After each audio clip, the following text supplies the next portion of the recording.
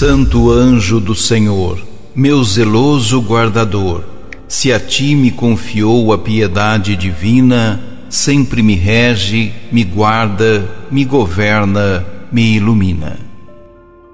Paulo, religioso jesuíta, nasceu em 1562 e foi martirizado em 1597, juntamente com outros 25 companheiros entre os quais leigos, jesuítas e franciscanos. Primeiro mártir do Japão, nascido no próprio país, correspondeu ao convite do Senhor até a aceitação da cruz, defendendo a fé católica. Que a vivência desses mártires nos encoraje a dar testemunho de nossa fé, não somente por palavras, mas principalmente por ações. Proclamação do Evangelho de Jesus Cristo, segundo Marcos.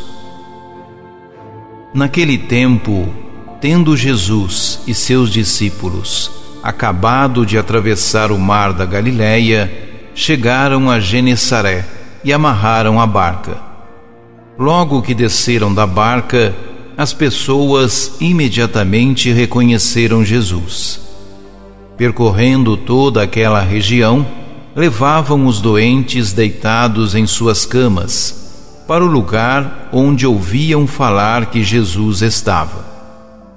E, nos povoados, cidades e campos onde chegavam, colocavam os doentes nas praças e pediam-lhe para tocar, ao menos, a barra de sua veste.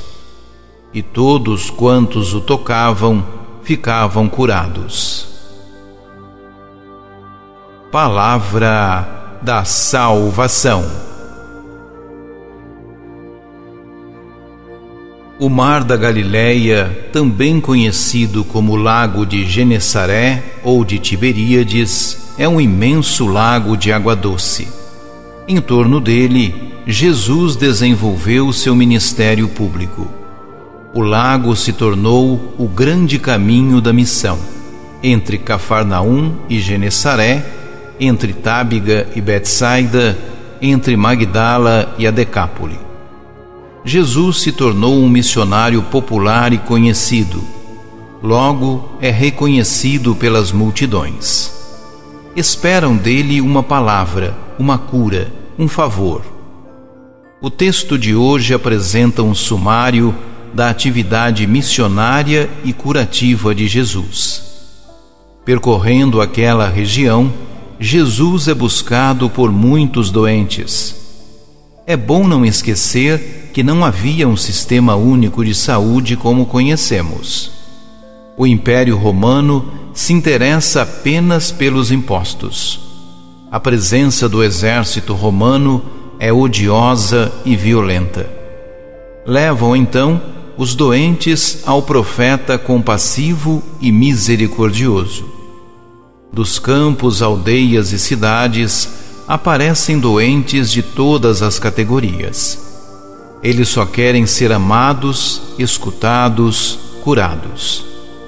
Sua esperança consiste, ao menos, em tocar a barra de sua veste em cada toque salvífico e libertador, Deus realiza a plenitude do seu reino.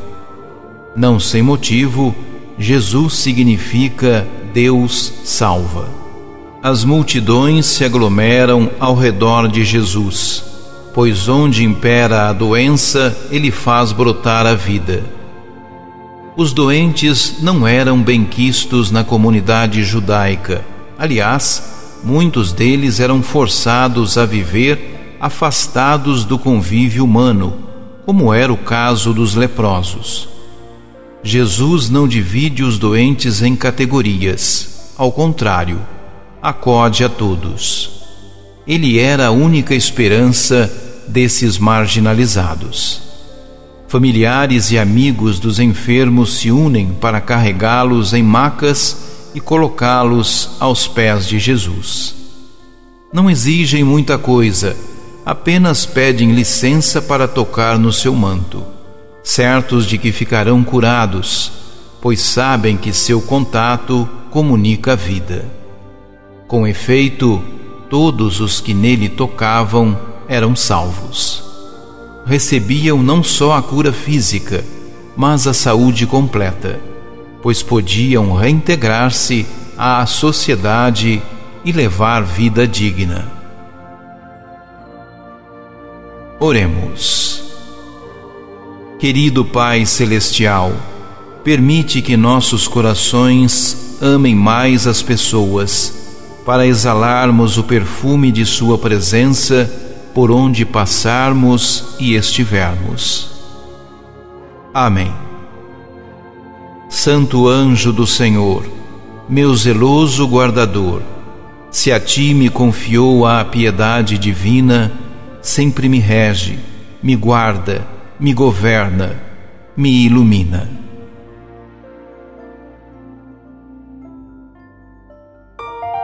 Ajude-nos a evangelizar. Se inscrevam em nosso canal, ativem o sininho, dê o joinha em nossos vídeos e compartilhem a palavra de Deus.